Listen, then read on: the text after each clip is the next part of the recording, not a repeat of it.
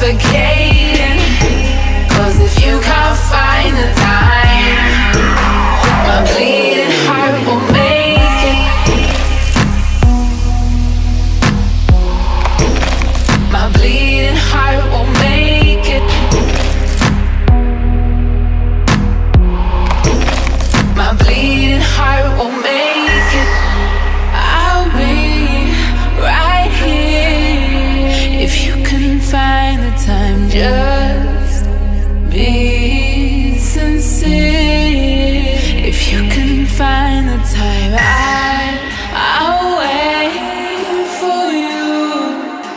But if you can't find the time, then come.